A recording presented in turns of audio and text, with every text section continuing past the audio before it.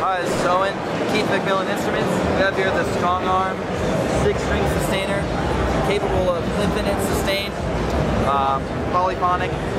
And so basically we have, it's all installed in saddle here. Uh, so you have a pickup for each string.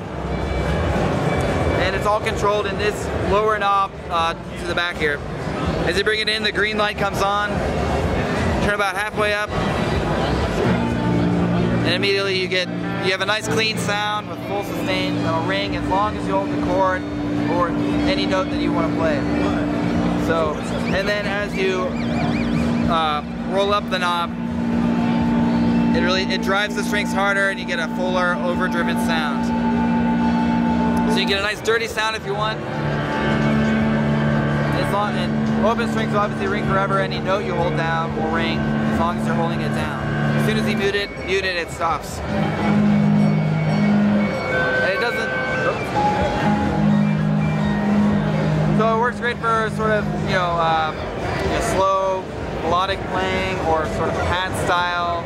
You know, you can get sort of uh, uh, like lap steel kind of country sound if you want. Yeah, show us the back of it there. Sure.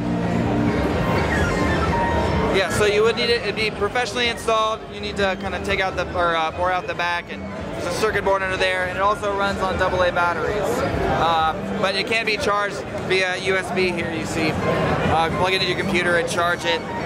Um, and it's also, and so you can also program uh, so that you can have individual strings, which any strings you want to sustain. You don't, they don't have to be all of them. It can be just the low string. And then what's going on with the LEDs there? So the green, as you roll on the sustain, the green comes on, and that's indicating the sustain works. And what it also has is a tilt feature, and the blue light comes on, so you can program an effect to come on uh, if you'd like.